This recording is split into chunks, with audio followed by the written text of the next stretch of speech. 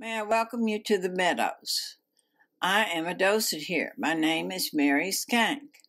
Today we are going to focus on one painting entitled Portrait of Richard Worsam Meade by Vicente Lopez, 1815. This subject is an America by a Spanish artist now, how did this combination of nationalities happen?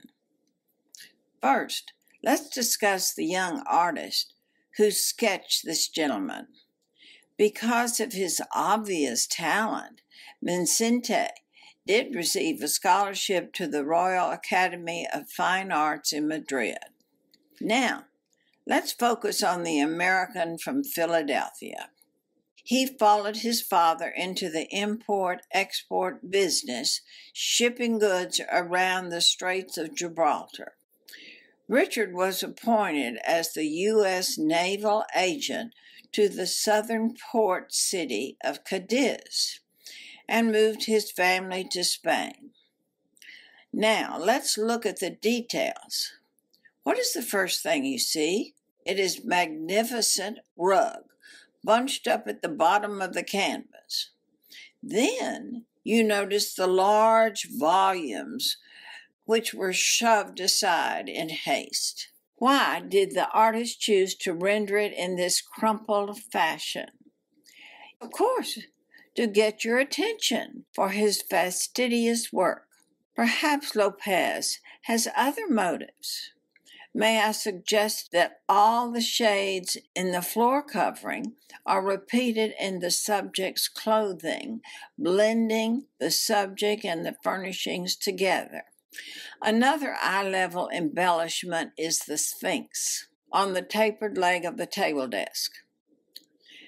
There are many other detailed objects here, but let us not miss the wrinkled satin vest of the sitter. Perhaps the artist wanted to lead your eye towards the subject's features, which are surrounded by the purest of white. But note, there is little shading on the navy blazer. Lopez did not want to distract your eyes from the focus of the portrait. Now, Meade was extremely successful exporting wool and sherry to the colonies.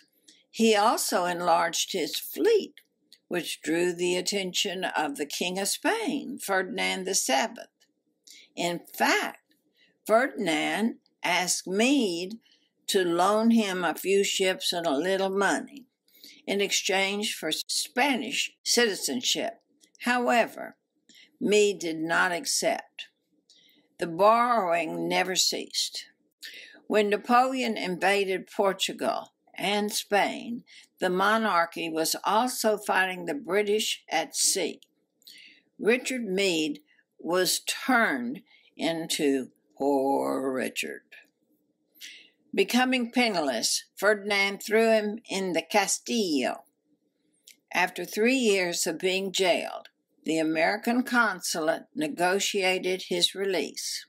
Meade returned to the United States and lobbied the Senate to reimburse him for his Spanish debt of one and a half million dollars. Meade's heirs continued pursuing the debt without success. It has been suggested that this painting has been offered as remuneration, but we will never know. Please do explore other tiny tours. Thanks.